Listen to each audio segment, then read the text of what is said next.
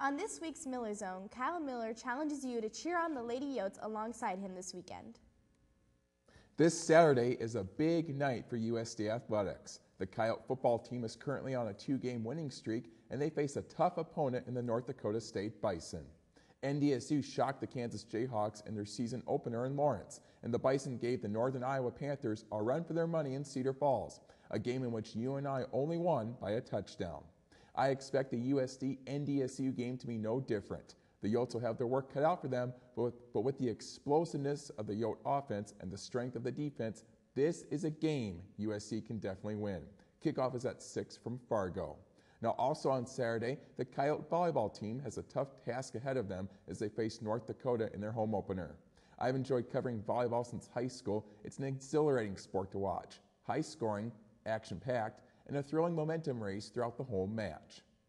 Now, the Lady Yotes have struggled a bit on the road, and I think some home cooking is just what they need to get back on track. The match begins at 5 at the Dakota Dome. I'll be there cheering on the Yotes. If you're not road tripping to Fargo, join me.